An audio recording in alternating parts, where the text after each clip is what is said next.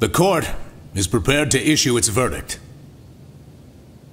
The sentence for the defendant, Akihiro Ehara, is six months of penal servitude. If that will be all, we can proceed with the court's rationale. The defendant may be seated.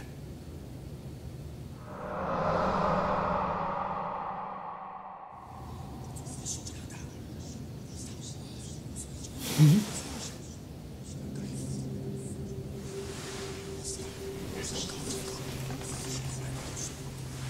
Your Honor, in a warehouse, about three days ago, a body turned up in Yokohama. Oh, maybe you hadn't heard that.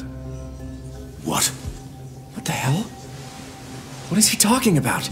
I don't know. Hmm. I'll take that as a no. In that case, make sure you pass this along to the Kanagawa police. They'll want to know that the body belongs to a guy named Hiro Mikoshiba. Four years ago, this man took my son from me by driving him to commit suicide. He deserved to die a thousand times, but he was never even accused of a crime. No, he just went on with his life. The law let him walk. An utterly broken system. You mean it's revenge? In that case, could he have hired someone else to murder the guy in his stead? As for my request, I'd like to see what you can find out. Mikoshiba's murder is too suspicious. Stop that man! Hey! Are you filming this? Put that camera away!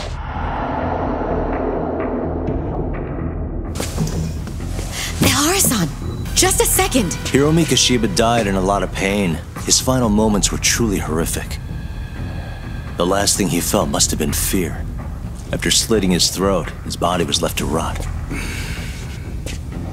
Doesn't that sound great?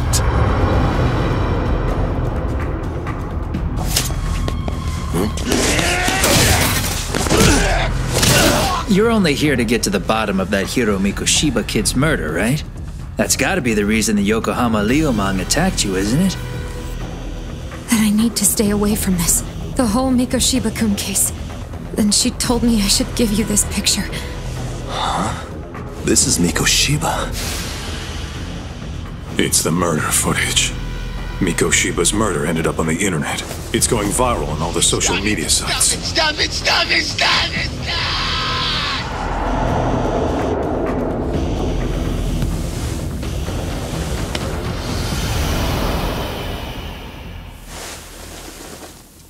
No way. Oh, God.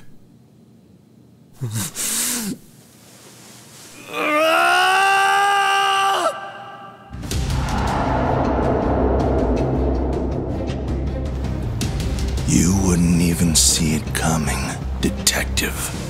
Slap them around, but you do need to keep them conscious. Enough to keep the fear alive. When I was a student in high school, I witnessed bullying firsthand. And still, I just let history repeat itself. Sugiura! If they want me, then come after me! Fuck could you do about it, detective? Smartass! Leave it alone, Yagami. It's for your own good. I need to reconsider both the harassment and the murder, because I think the truth is these cases are one and the same. We'll need to do things one step at a time, Kaito-san. That'll be on me. I'll reveal a truth no one can deny. Stop! There's nowhere to run!